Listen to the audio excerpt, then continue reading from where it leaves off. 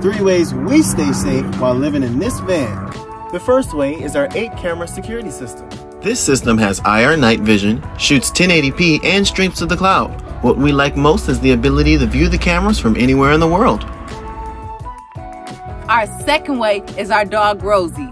Every day she stands watch, looking out for danger. Our third way is these hands through self-defense. And don't forget about those weapons. These are the ways we stay safe on the road. Let us know what we missed. Thanks for watching.